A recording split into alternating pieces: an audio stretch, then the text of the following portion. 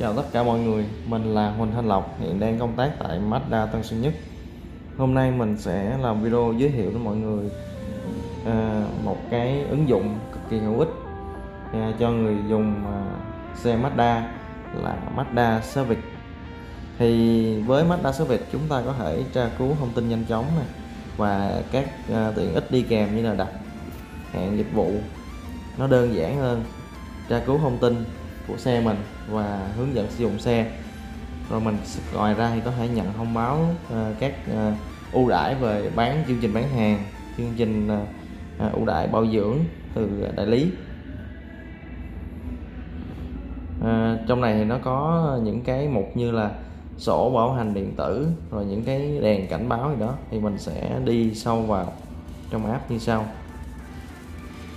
Cài để cài ứng dụng này cũng tương đối dễ mình vào à, CH Play mình sẽ tìm đến mục à, Mazda Civic.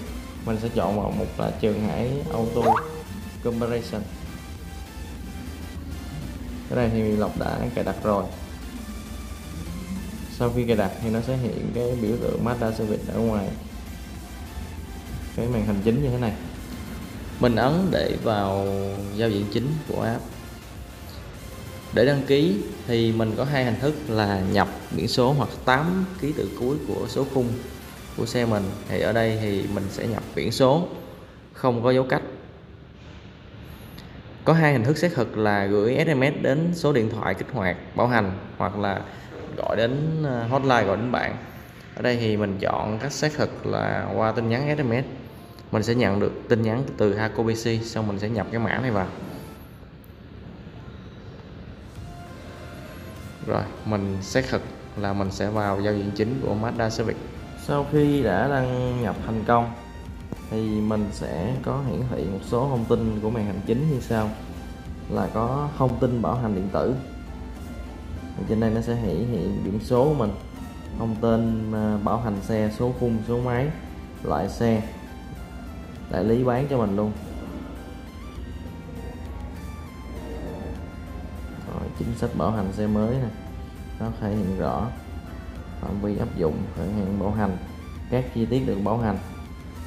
Rồi, mình lưu ý là xe của mình là bảo hành Mazda mình bảo hành 3 năm hoặc 100 ngàn cây nhưng nó sẽ có những chi tiết được bảo hành và những chi tiết trong quá trình sử dụng khấu hao nó sẽ không được bảo hành. Thì trong đây nó có quy định rõ hết thì mọi người có thể tham khảo trên đây hoặc là tham khảo trong cuốn sổ bảo hành. Khi mà lúc giao xe mình sẽ được ờ, đại lý giao. Này là mình lưu ý đó thôi.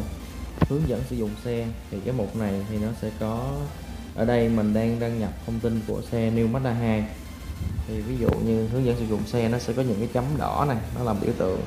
Thì mình ấn vào những cái vùng chấm này, nó sẽ thể hiện những cái chức năng như là chỉnh gương chiếu hậu này, gặp gương như thế nào. Mình ấn về vùng trước thì nó sẽ chỉ mình bật nắp cabo như thế nào cho đúng những mẹo nhỏ nhỏ thôi. Trong quá trình sử dụng xe, mình sẽ hàng ngày mình đụng tới nó. Đó, rồi tới này, mở cớp mở cớp như thế nào?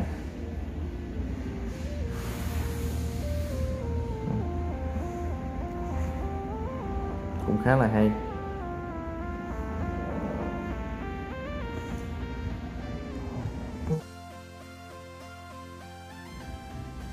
Tiếp đến chúng ta sẽ đến một điều cái cảnh báo trên đèn.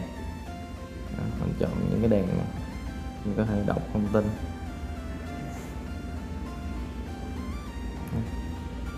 Mình lưu ý đèn trên xe hơi thì những cái đèn mà thể hiện màu xanh thì nó sẽ an toàn. Màu vàng thì nó sẽ ở mức nguy nguy hiểm nhưng mà nó cảnh báo ở ở mức thấp tuyệt đối là những cái đèn mà hiện đèn đỏ khi mà chúng ta đề máy là động cơ đang khởi động. Mà nó hiện những cái đèn đỏ là đèn cực kỳ nguy hiểm chúng ta phải nhanh chóng chạy đến đại lý để được uh, khắc phục lỗi. Chứ trong quá trình vận hành thì nó sẽ gây ra không an toàn.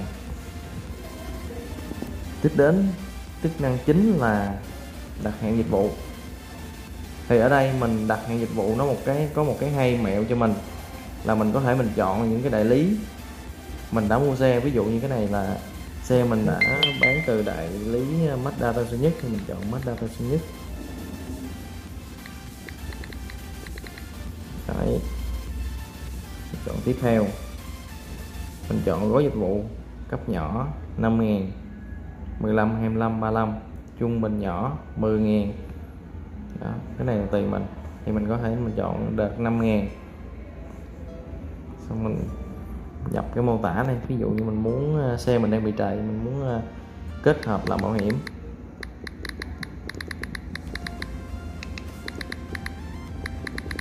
Để mình nốt lại cho đại lý người ta dễ ờ, cân đối thời gian thôi. Cái này yêu cầu yêu cầu thêm là mình lưu kho xe lại đến khi hoàn thiện ví dụ vậy. Xong mình chọn tiếp theo. Xong mình sẽ chọn ngày đặt hẹn. Đó. ví dụ như hôm nay là ngày 6 thì mình không phải đặt lùi được. Nên là mình chọn ví dụ ngày 7 đi. Mình chọn một 8 giờ đi. Hoặc là tùy mình mình chỉnh căn thời gian này. Mình lưu ý là mình đặt mình phải căn thời gian mà mình đến uh, sớm 15 phút để cho bên bộ phận uh, dịch vụ tiện sắp xếp sau mình sẽ bấm vô chữ đặt hẹn? Đặt hẹn là hoàn tất. Ở đây thì mình demo nên mình không bấm vào đặt hẹn. Rất phiền các bạn chăm sóc khách hàng. Ở đây một mẹo nữa là mình chọn một cái nữa là thông tin dịch vụ. Ở đây nó sẽ có cái bảng giá dịch vụ bảo dưỡng. Mình có thể tham khảo trước. Nếu là mình là chủ xe, mình là người không đi bảo dưỡng, mình có thể tham khảo chi phí này để mình có biết được, để mình đưa cho cái người à, tài xế của mình đến đại lý để bảo dưỡng.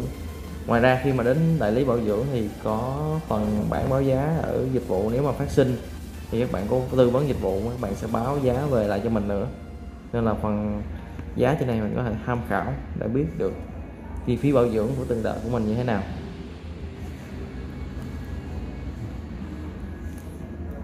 Còn một cái nữa là mình sẽ chọn, hồi nãy lưu ý là mình, ví dụ mình chọn cái địa điểm nào mình đang gần nhất, cái này nó sẽ chỉnh về cái định vị của mình. Ở trên bản đồ này mình sẽ mình sẽ chọn, mình sẽ xem đại lý nào nó gần mình nhất để mình chọn. Ví dụ như đây, mình đang ở gần nhất Mazda Tân Sơn Nhất.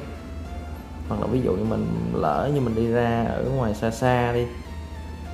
Xa xa mình ra tới miền Bình Dương thì mình có thể chọn đây, Mazda Bình Dương. Thì cái đó là tùy mình cái này cũng khá là hay. Rồi, phần chia sẻ về Mazda Service. Của Lộc đến đây là hết. Mọi thắc mắc thì mọi người có thể để lại comment bên dưới, hoặc là gọi đến số điện thoại trên màn hình để được Lộc hỗ trợ tư vấn thêm. Cảm ơn mọi người.